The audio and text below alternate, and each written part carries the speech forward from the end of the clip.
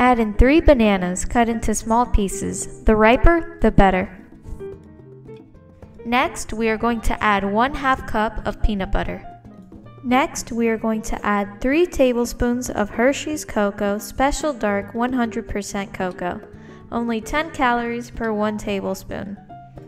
If you like your cake a little more fluffy, add 1 teaspoon of baking powder.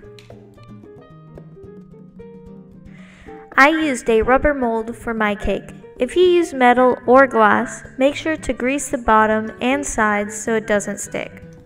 In oven for 350 degrees Fahrenheit for 20 minutes.